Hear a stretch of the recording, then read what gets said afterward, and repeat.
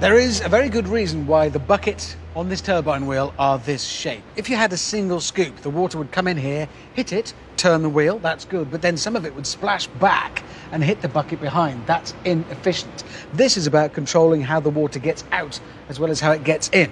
With the splitter in place, water comes in, hits it, pushes the wheel, but then is sort of scooped straight out in two even streams. It's efficient. That's how they get to 92% efficiency here.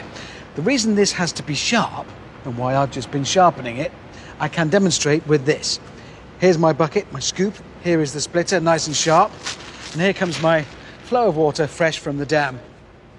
And as it hits, the splitter is dividing it between the two sides of the bucket.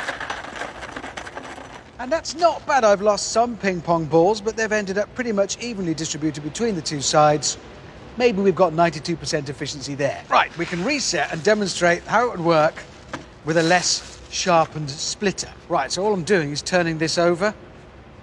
It's got a blunt edge, it hasn't been sharpened. Same process, switch on, water coming all the way from our dam, hitting the bucket at the very end, and it's, it's a disaster. Every ping pong ball flying away is more water not being used to push the turbine wheel you won't stand a chance of hitting 92 odd percent efficiency. And now we've got to tidy up their turbine hall. Sorry. Above the turbine, where the water hits the buckets, is the generator which creates the electricity.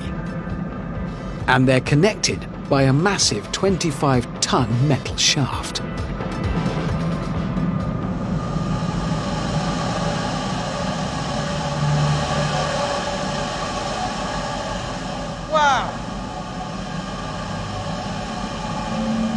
I'm sitting directly above that turbine beneath me.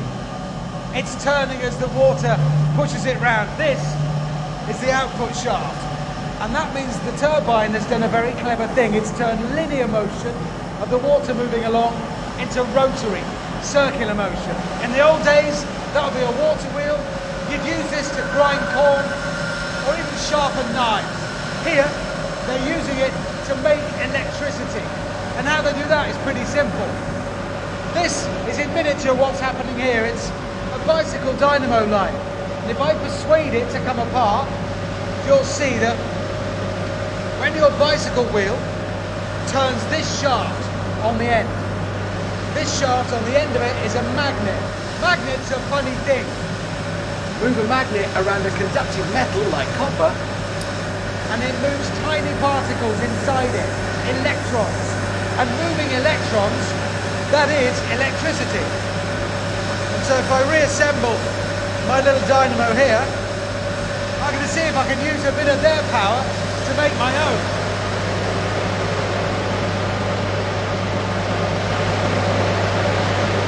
I'm stealing their power.